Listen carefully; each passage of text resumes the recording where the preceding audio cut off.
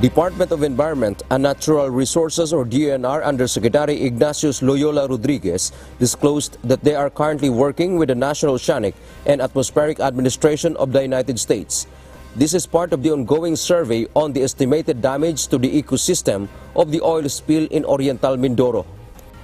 and we are in coordination with uh, uh, NOAA of the United States to ensure that we have the proper science in doing it because uh, um, uh, we understand that since claims would be uh, international in nature, there are certain things there are certain things that, that, that should be um, the, the data that, that should be collected.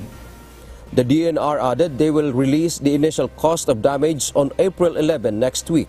The Philippine Coast Guard or PCG on the other hand said once the initial amount of damage will be out, they can get claims from the sunken MT Princess Empress Insurance Company and International Oil Pollution Compensation or IOPC funds. New claim desks will also be put in other places which also be affected by the oil spill. Uh, we're talking about two claims here. One claim is for people, the other claim is for the environment.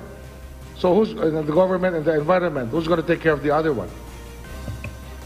If uh, the, the, the DENR, the EMB has already identified how much damage uh, the pollution has uh, caused, then uh, we could claim it directly to IOPC and the P&I. sir.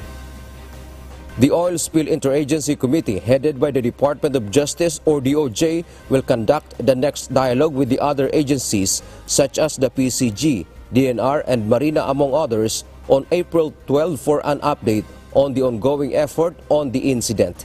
Dante Amento, UNTV, News and Rescue. We serve the people. We give glory to God.